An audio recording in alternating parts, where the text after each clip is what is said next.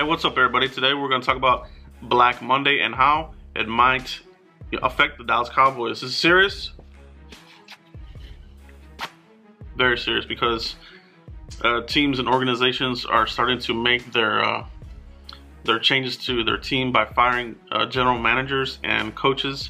So a lot of staffs are being purged out right now, and in doing that, they're looking for new faces, new leadership. All right, so we're getting word here that um, the New York Jets are going to request to interview Kris Richard, Cowboys DB and passing game coordinator. All right, so that would be bad.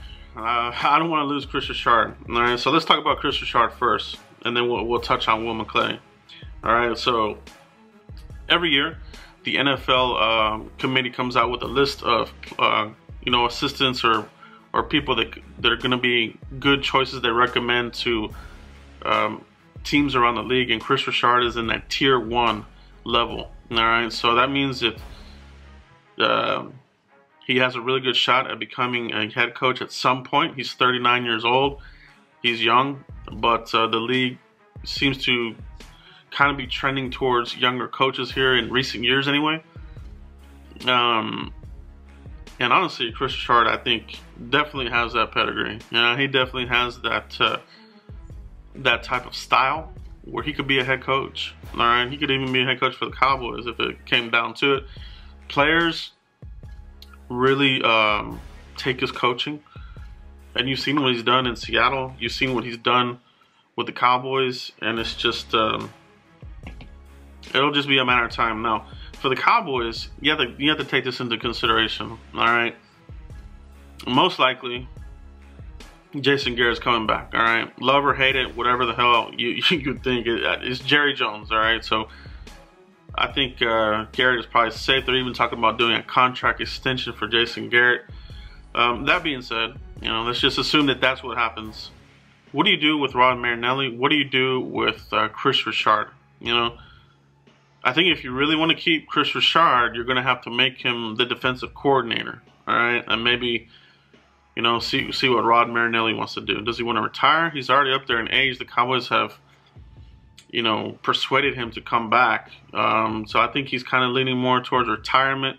Could he be uh, kept on as a consultant, kind of like Monty Kiffin was after they, you know, changed him out for Rod Marinelli? Could Rod Marinelli become that that kind of role?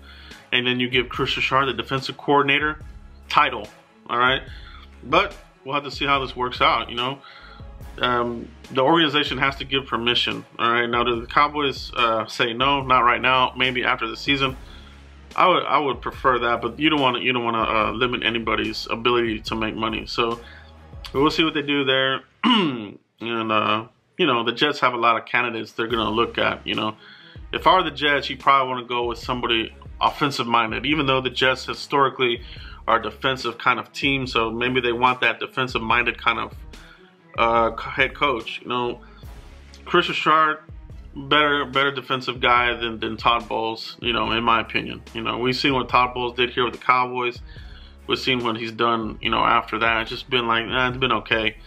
I never saw that as something that was going to be a long-term deal.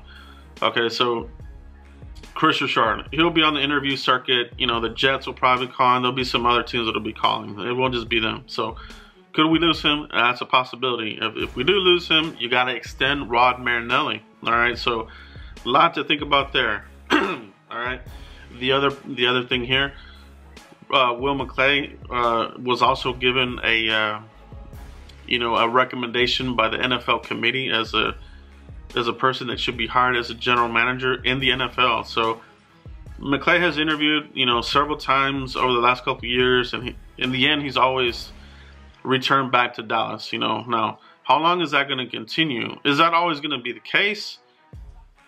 Or does he want? Or does he really, you know, want to just stay here with the Cowboys? All right, so maybe he'll he'll do the interviews here for these organizations. But what if a deal comes across too good to pass up? Would you lose him? Losing Will McClay would be a huge blow to the Cowboys. Um, even though I think uh, Stephen Jones has probably learned a ton of talent evaluation from Will McClay. Now, you can't replace him. The Cowboys don't have somebody in house to to replace him. They don't really have somebody that uh, as mentored. I mean, you have younger scouts in there you know, that you could elevate, but still, losing Will McClay would be would be a huge hit in in your draft uh, capabilities. So hopefully we don't lose him. All right, but that's what happens when your team is successful. Uh, kind of weird saying that now because you know this season definitely didn't start out successful. It looked like we still need a lot of work, and we do. You know, don't let don't let the record trick you. Ten and six, started out rough.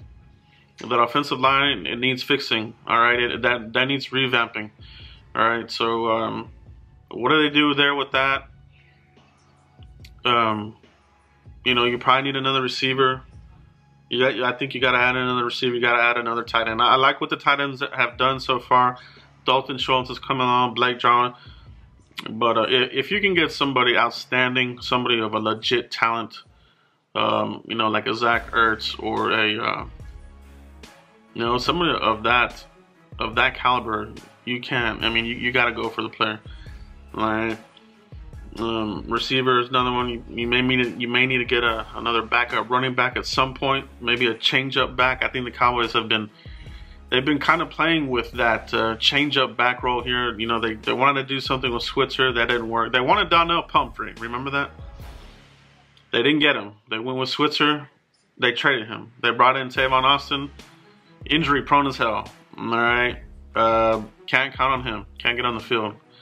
So I think the Cowboys are looking for that change-up guy that they can count on. You know, if you could get like a, a Tarik Cohen type of guy, that's who you want. And if the Cowboys can find that type of player in this draft, you got to get them. All right, you got to get them. So, uh, lots to think about here as Black Monday and the next couple of weeks start to uh, to progress. How the Cowboys, you know, keep this you know keep the staff in place? You know, do you, do you do that? Do you make a move with Mar- Marinelli? Do you are you able to keep Kris Richard? Do you do you promote him? You know, do you do you get rid of Scott Linehan? I think you have to. I think I think we're just you know going through the motions with him. Time to bring in some fresh some fresh blood. Um, Adam Gase just got released by the Dolphins. He might be somebody to keep an eye out on. Uh, Freddie Kitchens as well. You know, I did a video on on guys that could come in here and possibly replace Scott Linehan. But Adam Gase is out there on the on the market now. Add him to my list. If you missed that, I'll have that link here at the end of the video. All right. But uh, lots to think about. Hopefully we don't lose any of these guys. And uh, hopefully we can keep this thing going, baby. But let me know what you guys think. Do you think it's inevitable that we lose Kris Richard?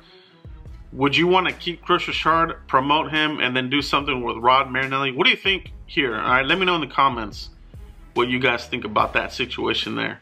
How do you think that'll unfold? What would you do? All right. And um, how big of a hit would it be if we lost Will McClay to, to one of these other teams? All right. Let me know in the comments, guys. Enjoy your New Year's Eve and happy new year to every single one of my subscribers. If you're still lurking, hit that like button, hit that subscribe button.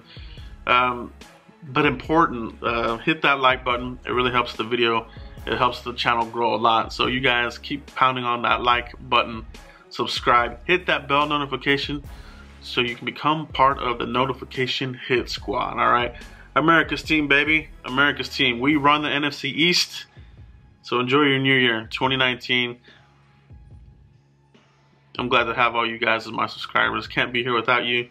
And we're going to keep rocking and rolling into the new year, baby. Have a great one. See you for the next video, guys. Peace.